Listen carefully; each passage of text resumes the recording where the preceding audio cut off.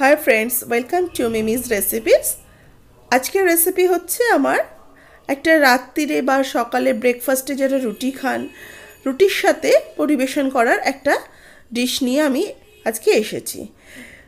অনেক সময় মনে হয় রুটি দিয়ে কি খাব কি খাব, তো সহজেই খুব পাঁচ মিনিটে তৈরি হয়ে যায় এই রেসিপিটা ভালো লাগলে অবশ্যই লাইক শেয়ার কমেন্টস করবেন, আর সাবস্ক্রাইব করবেন আমার চ্যানেলটা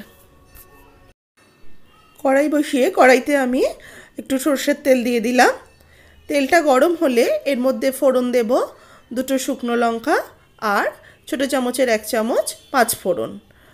ফোড়নটাকে একটু নাড়াচাড়া করে নেব। ফোড়নটার থেকে যখন সুন্দর গন্ধ বেরোবে, তার মধ্যে দিয়ে দিচ্ছি আমি পেঁয়াজ কুচানো। এখানে আমি একটা মিডিয়াম সাইজের পেঁয়াজ ব্যবহার করেছি। পেঁয়াজটা হালকা ফ্রাই হয়ে এলে এর মধ্যে দিয়ে দেবো অল্প একটু রসুন কুচানো।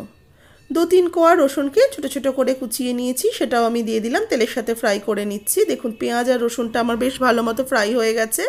এর মধ্যে দিয়ে দিচ্ছি আমি গ্রেট করা আদা আর কাঁচা লঙ্কা কোচানো। ঝালটা নিজেরা একটু বুঝে টেস্ট করে দেবেন।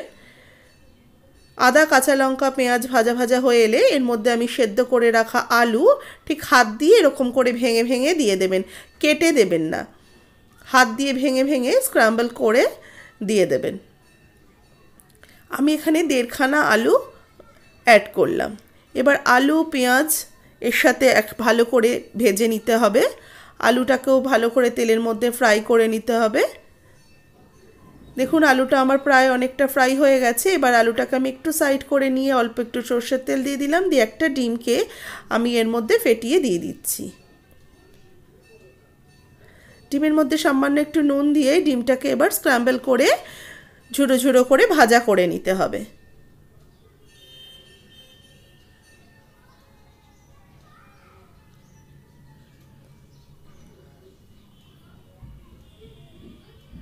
ডিমটা প্রায় ভাজা হয়ে গেছে, এবার আমি আলুর সাথে মিক্সড করে নিয়ে ভেজে নিচ্ছি। এর মধ্যে এবার আমি দিয়ে দেবো কেটে রাখা টমেটো। টমেটোটাও মিক্সড করে নিলাম সবজির সাথে। টমেটোটা একটু সফট হয়ে এলে এর মধ্যে দিয়ে দেবো আমি সামান্য হলুদ গুঁড়ো, একটু জিরের গুঁড়ো আর একটু ধনের গুঁড়ো। আর দেব সামান্য কাশ্মীরি রেড চিলি পাউডার। যেগুলো রেগুলার আমরা রান্নার মধ্যে ব্যবহার করি, যে মশলা, সেই মশলাগুলোই আমি এর মধ্যে দিয়েছি। এই মশলাগুলো এবার আলুর সাথে ভালো করে একটু ফ্রাই করে নিলাম। যাতে মশলার কাঁচা গন্ধটা না থাকে। এবার দিয়ে দেবো ভিজিয়ে রাখা মুসুর ডাল। মুসুর ডালটা আমি এখানে এক কাপ নিয়েছি। মুসুর ডাল এবার আলুর সাথে ভালো করে মিশিয়ে নিয়ে একটু কষিয়ে নিতে হবে। তারপরে দিয়ে দেবো আন্দাজ মতো নুন আর আন্দাজ মতো চিনি। নুন, চিনি দিয়েও ভালো করে মিশিয়ে নিচ্ছি ডালটা। এবার এর মধ্যে দিয়ে দেবো পরিমাণ মতো জল। আমি এখানে প্রায় দেড় কাপের মতো জল দিলাম। এবার আমি মিনিট পাঁচেকের জন্য আমি এটাকে ঢাকা দিয়ে রেখে দিচ্ছি। পাঁচ মিনিট পরে খুলে দেখাচ্ছি ঢাকা। দেখুন, আমার অনেকটা হয়ে গেছে, কারণ মুসুরির ডাল সেদ্ধ হতে কিন্তু খুব বেশি সময় লাগে না। এবার এর মধ্যে আমি দিয়ে দিলাম কুচানো ধনে পাতা। ধনে পাতা দিয়ে একটুখানি নাড়াচাড়া করে নিয়ে আমার হয়ে গেছে, এবার আমি সার্ভ করে আপনাদেরকে দেখাচ্ছি।